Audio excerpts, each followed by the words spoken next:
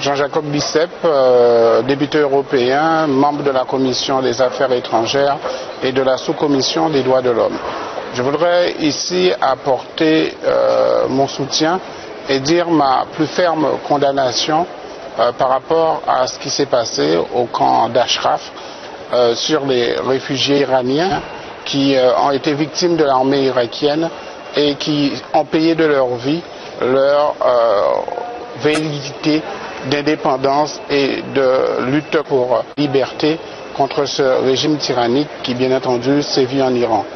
Euh, je veux aussi dire que, euh, tout comme la communauté internationale a condamné cette attaque dans un camp de réfugiés placé sous l'autorité effectivement des autorités internationales, donc des, réfugiés qui sont protégés par les différentes conventions internationales.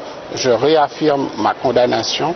Je veux apporter mon soutien, mon soutien notamment aux sept otages qui ont été capturés lors de cette opération et qui sont aujourd'hui en grève de la faim.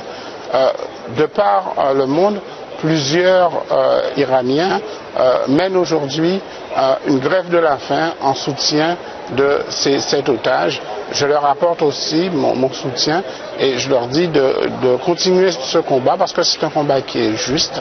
La communauté internationale ne doit pas les laisser tomber.